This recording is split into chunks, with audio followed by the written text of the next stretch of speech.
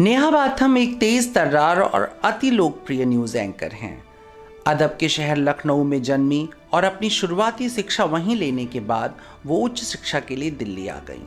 जी business से अपनी पत्रकारिता का सफ़र शुरू करने वाली नेहा न्यूज़ 24 से होते हुए देश के अति लोकप्रिय चैनल आज तक के मंच पर आ पहुँची और देश भर में अपने मुस्कुराते हुए चेहरे के साथ विख्यात हुई। लोग उन्हें साहित्य आज तक एक और एक ग्यारह तथा और दिल टूट गया जैसे कार्यक्रमों से खूब पहचानते हैं। धारा के विपरीत, नेहा एक ऑटो एक्सपर्ट बनी। देश के सबसे बड़े ऑटो एक्सपो को पिछले एक दशक से कवर करती आ रही हैं। वो सही मायनों में एक ज़िंदा दिल और प्रेरक व्यक्तित्व की मालकिन हैं। अब आपको प्रेरक पत्रकार मानकर कैरेक्टर ट्री देते हुए अपार हर्ष की अनुभूति कर रहा है।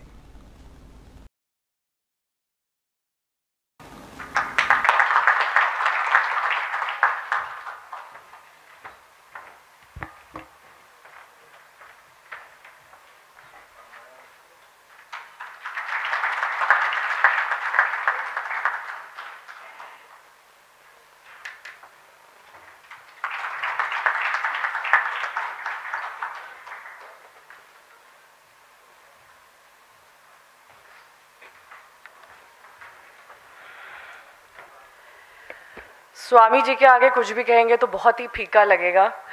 तो मैं, ना तो मैंने ए के फोर्टी सेवन से किसी अपराधी को मारा है, ना मैं यहाँ बैठे किसी गणमान्य राजनेता जैसी अच्छी वक्ता हूँ। हम तो आम व्यक्ति की बात करते हैं और जब हम आम व्यक्ति की बात करते हैं तो बहुत सारे लोगों को बहुत सारी बातें चुपती हैं। और मारिया ने भी जो कहा ना, मैं यहाँ पर ब्लाइंड फेथ पे आई थी, क्योंकि ना मैंने सच कहूँ, क्योंकि किसी ने कहा कि काशी की नगरी में ना मैंने स्वामी जी के बारे में सुना था, ना इस संस्था के बारे में सुना था।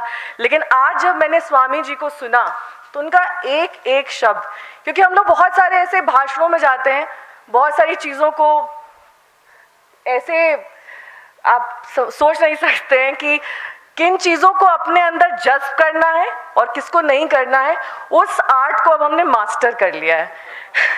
लेकिन स्वामी जी का आज मैंने और मारिया ने एक एक शब्द सुना है। और वाकई, वो बहुत ही, जिसे कहते हैं ना, रोंगटे खड़े कर देने वाला और आपने बहुत पढ़ाई करी है। ये आपके हर एक शब्द से ज़ाहिर हो रहा है। तो मैं सिर्फ़ इसलिए नहीं कह रही हूँ कि आपके में फ़ंक्शन में मौजूद है। पत्रकार तो जाने ही जाते हैं अपनी बेबाकी के लिए और बहुत बदनाम भी हैं। लेकिन हमें इस बदनामी से भी डर नहीं लगता है। और शायद यही वजह है कि बहुत सारे लोग जो आज यहाँ पर सम्मानित होंगे और इस बात से भी काफ़ी ज़्यादा इत्तेफाक रखेंगे कि स्वामी जी जिस तरीके की राय रखते हैं, वो बिल्कुल अनफिल्टर्ड है। बहुत ही प्योर है और उसमें कोई छल नहीं है। ये बात मैं एक पत्रकार के तौर पर कह सकती हूँ और बहुत ही निष्पक्ष तरीके से।